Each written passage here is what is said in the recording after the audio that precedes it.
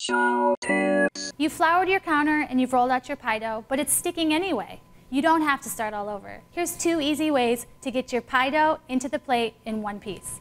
The easiest way is with an offset spatula and a little bit of flour. Gently work your way around the edges of the dough until you get to the center and you can lift it off in one piece. If you don't have an offset spatula, you can use a long piece of unflavored dental floss and wriggle it from one side to the other. Either way, you won't have to waste time re-chilling and re-rolling your dough.